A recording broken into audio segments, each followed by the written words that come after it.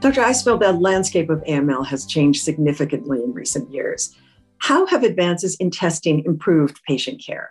It is a different world, Catherine, honestly. I mean, I started um, um, practicing in, in, in, hematology and taking care of AML patients back in Germany, actually, um, in, in the year 2007 back then there was no other testing that was available all we, we were guiding and all what we had available was was was um, morphology and, and, and cytogenetics. And very often that was very inaccurate. And we also only had two, treat, uh, two treatment kinds available. Mm-hmm. One was intensive chemotherapy, and one was something that was just a little bit better than best supportive care. So many patients could not receive treatment.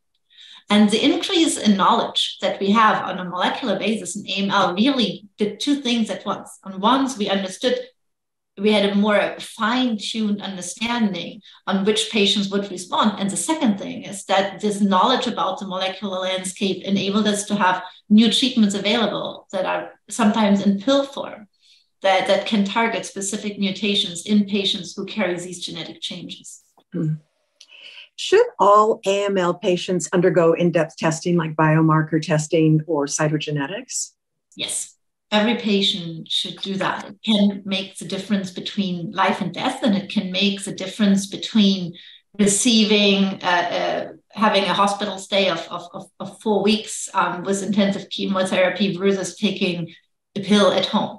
Mm. Um, this is very rare that this is possible, but it is possible. And of course, you you know one would not want to um, miss this chance if, if, if, it would. Dr. Eisfeld, I'd like to get your thoughts on where we stand with progress in the field of AML. What would you like to leave the audience with? Are you hopeful? I am incredibly hopeful. I hope when when I started um, working in hematology, as I said in that time, it was just about when Gleevec came out, which is the CML pill that really re- revolutionized care. And so at that time, I, all patients on the bone marrow transplant service had chronic myeloid leukemia because they all had to undergo bone marrow transplant. Then um, Gleevec came, and today um, there are no such patients more seen, or very rarely, um, that require such intensive care. So I am very hopeful that um, in in the in, in my practice time, which hopefully and even earlier on, that there will be a time where where we find targeted therapies for, for almost all um, patients in here.